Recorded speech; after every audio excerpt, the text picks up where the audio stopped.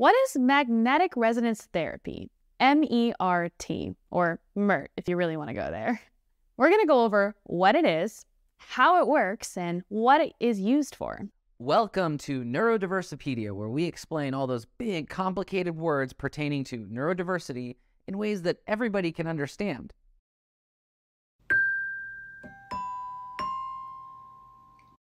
Magnetic resonance therapy is kind of a new treatment. It's using magnetic waves to affect the brain in a positive way. So let's say a kid named Bert walks in and he's getting ready for his MERT or his MERT, and he lays down on a table. He's given a helmet, and then he'll be put through either an EEG or an EKG, some kind of magnetic process that makes images of his brain. Now, everybody's brain is different. After his brain has been captured in an image, there will be magnetic waves that are sent to different parts of his brain.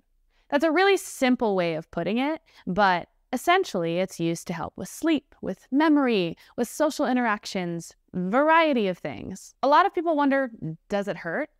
Well, it's non invasive, but it can create some headaches and there are other side effects as well. Make sure to ask a doctor if you're actually curious about all the specifics. What are the things that it could be used to treat? Well, TBIs, chronic pain, depression, anxiety. There's a whole list of things, even addiction.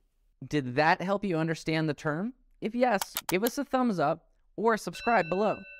If it didn't, then leave us a comment and tell us why. What are we missing? We always want to do better. This is a project by Goally. Check us out at getgoally.com.